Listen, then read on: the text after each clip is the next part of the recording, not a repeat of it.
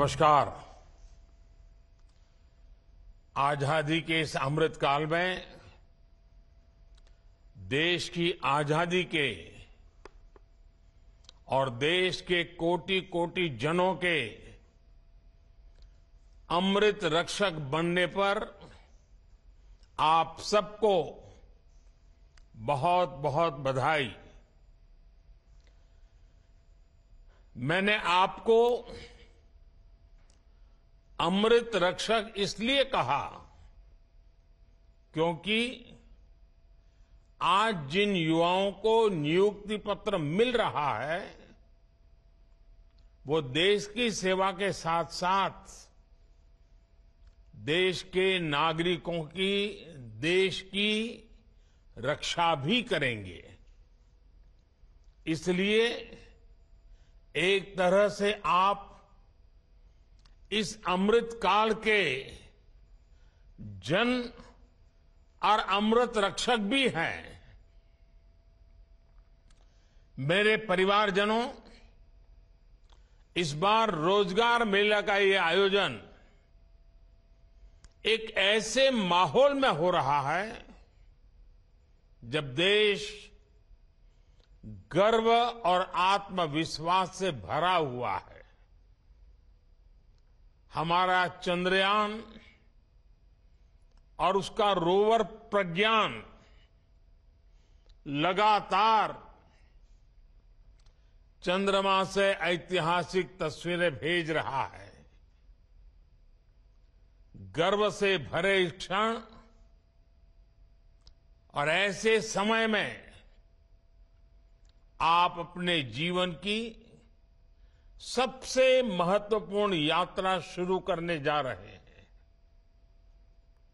मैं सभी सफल अभ्यर्थियों और उनके परिवारजनों को अनेक अनेक शुभकामनाएँ देता हूँ। साथियों, सेना में आकर, सुरक्षा बलों के साथ जुड़कर पुलिस सेवा में आकर हर युवा उसका सपना होता है कि वो देश की रक्षा का प्रहरी बने। और इसलिए आप पर बहुत बड़ा दायित्व होता है। इसलिए आपकी जरूरतों के प्रति भी हमारी सरकार बहुत गंभीर रही है। बीते कुछ वर्षों में अर्ध सैनिक बलों की भर्ती प्रक्रिया में हमने कई बड़े बदलाव किए हैं। आवेदन से लेकर चयन तक की प्रक्रिया में तेज़ी लाई गई है। अर्ध सैनिक बलों में भर्ती के लिए होने वाली परीक्षा अब तेरह स्थानीय भाषाओं में भी कराई जा रही है। पहली ऐसी परीक्षा में सिर्फ़ हिंदी या अंग्रेज़ी चुनने का ही विकल्प होता था। अब मातृभाषा का मान बढ़ा है। इस बदलाव से लाखों युवाओं के लिए रोज़गार पाने के रास्ते खुल गए हैं। पिछले वर्ष भी छत्तीसगढ़ के नक्सल प्रभावित जिलों में सैकड़ों आदिवासी युवकों की नियुक्ति की गई थी। इन्हें नियमों में छूट देकर सुरक्षा बल में भर्ती पाने का अवसर दिया गया, ताकि विकास की मुख्य धारा से जुड़े रहें। इसी तरह बॉर्डर डिस्ट्रिक्ट और उग्रवाद प्रभावित जिलों के युवाओं के लिए कांस्टेबल भर्ती परीक्षा में कोटा बढ़ाया गया है। सरकार के प्रयासों से अर्धसैनिक बलों को लगातार मजबूती मिल रही है। साथियों देश का विकास सुनिश्चित करने में आपके दायित्व की महत्वपूर्ण भूमिका है। सुरक्षा का वातावरण, कानून का राज, विकास की रफ्तार को तेज कर देता है। आप यूपी का उदाहरण ले सकते हैं। कभी यूपी विकास के मामले में बहुत पीछे था और अपराध के मामले में बहुत आगे। लेकिन अब कानून का राज स्थापित होने से यूपी विकास की नई ऊंचाई छू रहा है। कभी गुंडों, माफिया की दहशत में रहने वाले उत्तर प्रदेश में आज भयमुक्त समाज की स्थापना हो रही है। अपराध कम हुआ है। तो यूपी में निवेश भी बढ़ रहा है इन्वेस्टमेंट आ रहा है। इसके उलट हम ये भी देखते हैं कि जिन राज्यों में अपराध चरम पर है। वहाँ निवेश भी उतना ही कम हो रहा है। सारे रोजी रोटी के सारे काम ठप पड़ जाते हैं। मेरे परिवारजनों, आजकल आप लगातार पढ़ते भी हैं और देखते भी हैं कि भारत दुनिया की सबसे तेज़ी से बढ़ती हुई अर्थव्यवस्था है। भारत इस दशक में टॉप थ्री अर्थव्यवस्था में शामिल हो जाएगा। और ये गारंटी जब मैं आपको देता हूँ ना, बड़ी जिम्मेवारी के साथ मेरे देशवासी, मेरे परिवारजनों को ये मोदी गारंटी देता है। लेकिन जब आप ये पढ़ते हैं तो एक सवाल आपके मन में ज़रूर आता होगा कि इसका देश के सामान्य नागरिक पर क्या असर होगा। और ये सवाल बहुत स्वाभाविक भी है। साथियों, किसी भी अर्थव्यवस्था को आगे बढ़ने के लिए ये ज़रूरी है कि देश के हर सेक्टर का विकास हो। फ़ूड सेक्टर से लेकर के फार्मा तक, स्पेस से लेकर के स्टार्टअप तक, जब हर सेक्टर आगे बढ़ेगा तो अर्थव्यवस्था भी आगे बढ़ेगी। आप फार्मा इंडस्ट्री का उदाहरण ले लीजिए। महामारी के समय भारत के फार्मा इंडस्ट्री की बहुत सराहना की गई। आज ये इंडस्ट्री चार लाख करोड़ रुपए से ज़्यादा की है और कहा ये जा रहा है कि 2030 तक भारत की फार्मा इंडस्ट्री करीब 10 लाख करोड़ रुपए की हो जाएगी। अब ये फार्मा इंडस्ट्री आगे बढ़ेगी तो इसका क्या मतलब हुआ? इसका मतलब ये हुआ कि इस दशक में फार्मा इंडस्ट्री को आज की तुलना में कई गुना ज़्यादा युवाओं की ज़रूरत पड़ेगी। रोज़गार के अनेक नए अवसर आएँगे। साथियों, आज देश में ऑटोमोबाइल और ऑटो कंपोनेंट्स इस इंडस्ट्री में भी बहुत तेज़ी से बढ़त देखने को मिल रही है। फ़िलहाल ये दोनों इंडस्ट्री 12 लाख करोड़ रुपए से ज़्यादा की है।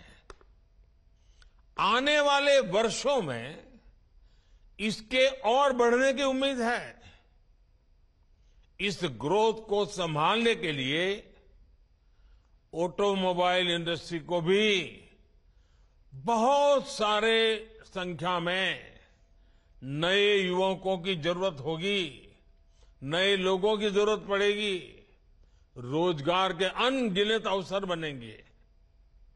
आपने देखा होगा कि इन दिनों फ़ूड प्रोसेसिंग इंडस्ट्री के महत्व की भी काफ़ी चर्चा होती है। भारत का फ़ूड प्रोसेसिंग मार्केट पिछले साल करीब करीब 26 लाख करोड़ रुपए का था।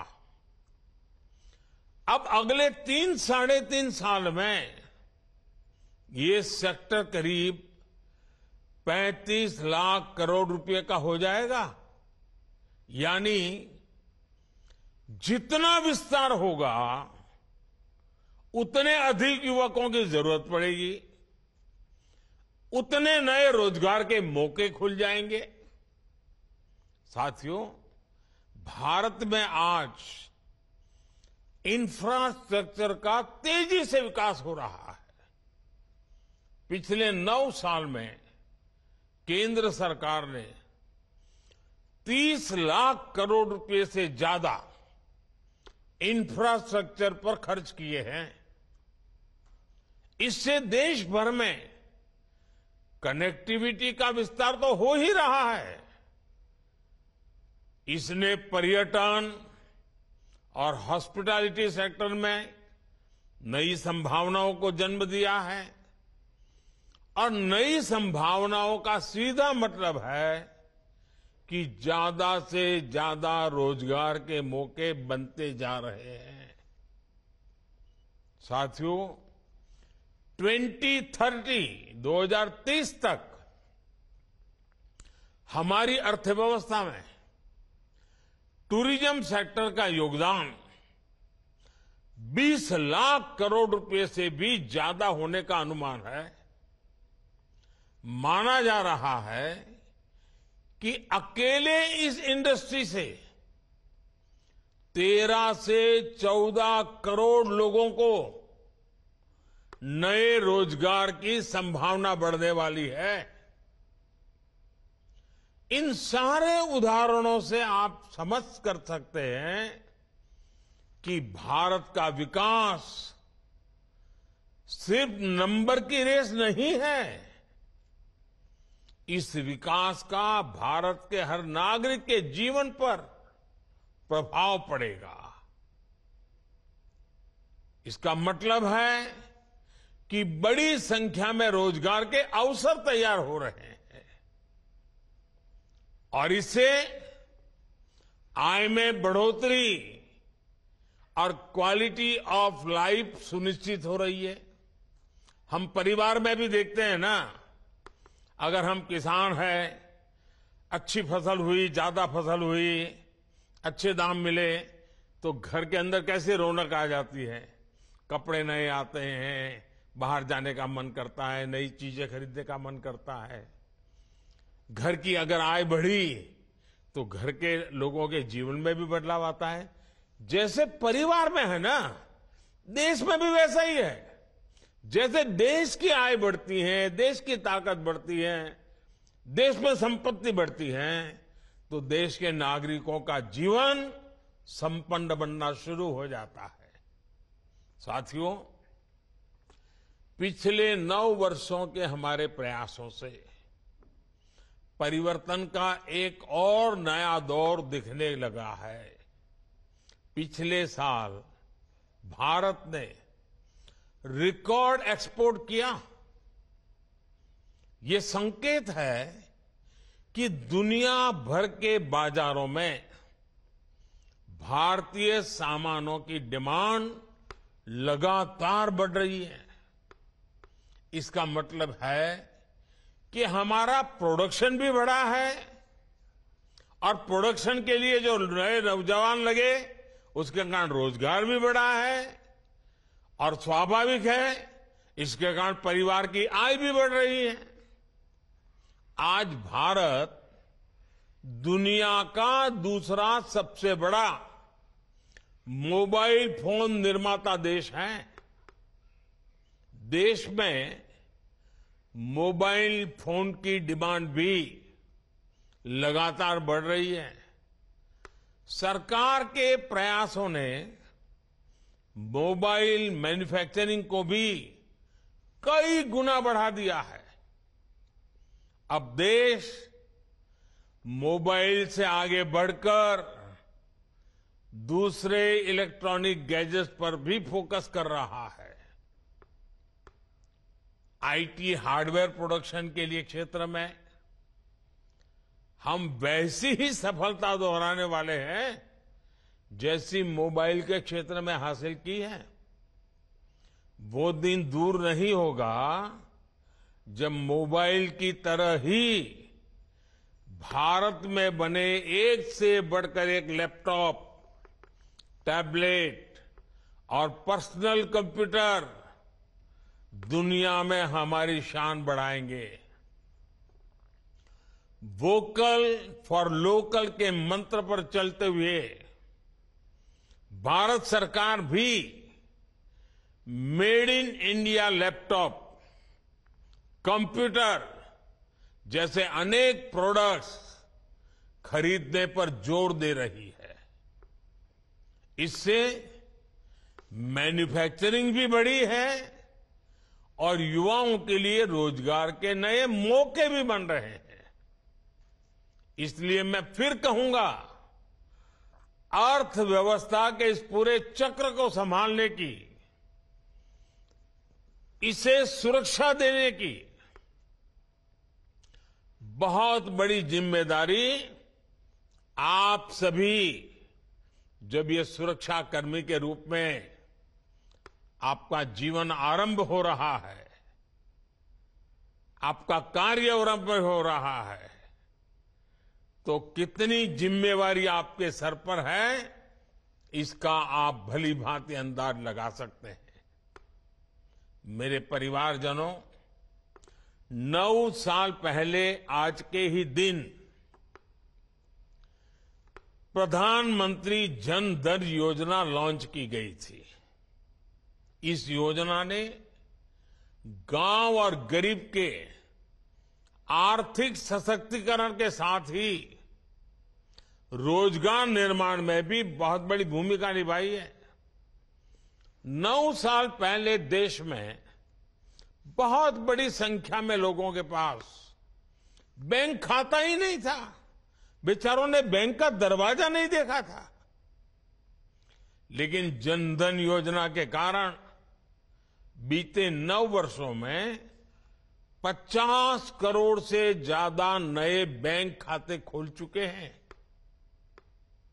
इस योजना से गाँव गरीब तक सरकारी लाभ सीधे पहुँचाने में तो मदद मिली ही है और साथ ही महिलाओं, दलितों, पिछड़ों आदिवासियों के रोज़गार और स्वरोजगार को इससे बहुत बल मिला है।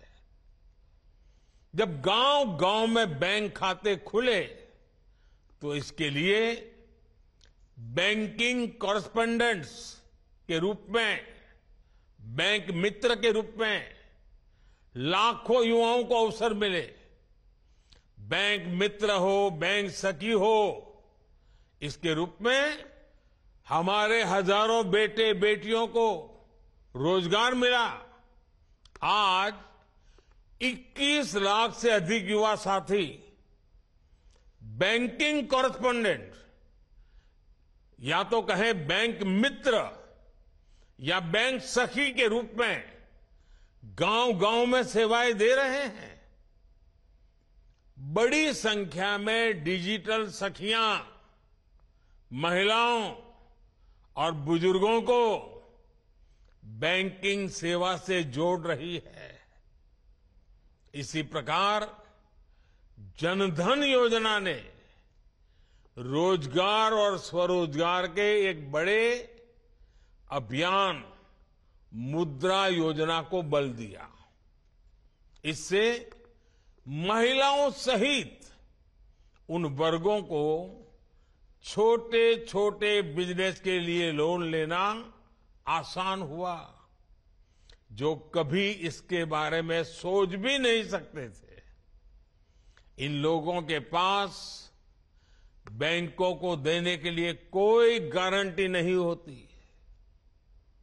ऐसे में सरकार ने खुद उनकी गारंटी ली। मुद्रा योजना से अभी तक 24 लाख करोड़ रुपए से अधिक के लोन दिए जा चुके हैं। इसमें करीब 8 करोड़ साथी ऐसे हैं जिन्होंने पहली बार कोई बिज़नेस शुरू किया है, अपना काम शुरू किया है। पीएम स्वनिधि योजना के तहत करीब करीब 43 लाख स्ट्रीट वेंडर्स को। रेडी पट्टी वाले जो लोग होते हैं ना हमारे, पहली बार बैंकों से बिना गारंटी का ऋण स्वीकृत हुआ है। मुद्रा और स्वनिधि के लाभार्थियों में बड़ी संख्या में महिलाएँ, दलित, पिछड़े और मेरे आदिवासी युवा हैं। जनधन खातों ने गाँवों में महिला सेल्फ हेल्प ग्रुप्स को मज़बूत बनाने में भी बहुत मदद की है। आजकल तो मैं गाँव में जाता हूँ, जब महिला सेल्फ हेल्प ग्रुप की बहनों को मिलता हूँ तो कई तो उसमें से आगे गए मैं तो लखपति दीदी हूँ। ये सब इसी से संभव हुआ है। सरकार जो आर्थिक मदद करती है वो महिला सेल्फ हेल्प ग्रुप से जुड़ी महिलाओं के बैंक खातों में अब सीधे जमा होता है। जनधन योजना ने देश में सामाजिक और आर्थिक परिवर्तन को गति देने में जो भूमिका निभाई है, वो वाकई हमारी बड़ी बड़ी यूनिवर्सिटीज के लिए अध्ययन का विषय है। साथियों, अब तक रोज़गार मेले के अनेक आयोजनों में लाखों युवाओं को मैं संबोधित कर चुका हूँ। उन युवाओं को पब्लिक सर्विस या अन्य क्षेत्रों में रोज़गार मिला है। गवर्नमेंट और गवर्नेंस में बदलाव लाने के मिशन में आप सभी युवा मेरी सबसे बड़ी ताकत है। आप सभी उस पीढ़ी से आते हैं जहाँ सब कुछ बस एक क्लिक पर मिल जाता है। इसलिए आप समझ सकते हैं कि लोग हर सर्विस की तेज डिलीवरी चाहते हैं। आप अच्छी तरह जानते हैं कि आज की पीढ़ी समस्याओं का टुकड़ों में समाधान नहीं चाहती। उन्हें स्थायी समाधान चाहिए। इसलिए पब्लिक सर्वेंट होने के नाते आपको ऐसे फैसले लेने होंगे, ऐसी जिम्मेवारियाँ निभानी होगी, हर पल ऐसे तैयार रहना होगा जो लंबे समय तक लोगों के लिए फ़ायदेमंद हो। आप जिस पीढ़ी से संबंध रखते हैं वो कुछ हासिल करने का इरादा रखती है। ये पीढ़ी किसी का फेवर नहीं चाहती। वो बस ये चाहती है कि कोई उनके रास्ते का रोड़ा ना बने। इसलिए पब्लिक सर्वेंट्स के तौर पर आपके लिए ये समझना बहुत आवश्यक है कि सरकार जनता की आकांक्षाओं को पूरा करने के लिए हमेशा जनता की सेवा के लिए है। आप ये समझते हुए काम करेंगे तो कानून व्यवस्था को बनाए रखने में भी आपको बहुत मदद मिलेगी। साथियों, अर्धसैनिक बलों में अपनी महत्वपूर्ण ज़िम्मेदारी को पूरा करने के साथ साथ आप सीखते रहने की प्रवृत्ति को भी बनाए रखें। आप जैसे कर्मयोगियों के लिए आई गॉट कर्मयोगी पोर्टल पर 600 से ज़्यादा अलग अलग कोर्सेज उपलब्ध है। सर्टिफिकेट कोर्सेज हैं। 20 लाख से ज़्यादा सरकारी कर्मचारियों ने इस पोर्टल पर रजिस्ट्रेशन कराया है। वो ऑनलाइन पढ़ाई कर रहे हैं, परीक्षाएँ दे रहे हैं। मेरा आग्रह है कि आप सब भी इस पोर्टल से पहले दिन से ही से जुड़ जाइए। और पहले दिन से तय कीजिए, मैं ज़्यादा से ज़्यादा कोर्सेज करूँ, ज़्यादा से ज़्यादा सर्टिफिकेट कोर्स करूँ, ज़्यादा से ज़्यादा सर्टिफिकेट प्राप्त करूँ। और आप देखिए, जो सीखेंगे, जानेंगे, समझेंगे, वो सिर्फ़ एग्ज़ाम के लिए नहीं है। आपके जीवन में उत्तम से उत्तम ड्यूटी करने के लिए है, एक श्रेष्ठ अफसर बनने का सामर्थ्य उसमें पड़ा हुआ है। साथियों, आपका क्षेत्र यूनिफॉर्म की दुनिया का है। मैं आप सबसे आग्रह करूँगा, फ़िज़िकल फिटनेस में जरा भी कॉम्प्रोमाइज मत कीजिए, क्योंकि आपका काम समय के बंधनों में बंधा हुआ नहीं होता है। मौसम का हर मार आपको झेलना पड़ता है। फ़िज़िकल फिटनेस ये आपके विभाग में काम करने वालों के लिए बहुत ज़रूरी है।